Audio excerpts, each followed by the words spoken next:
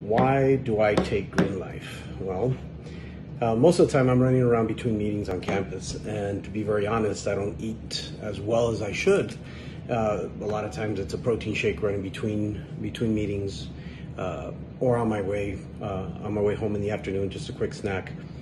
Uh, so in between, um, definitely helps.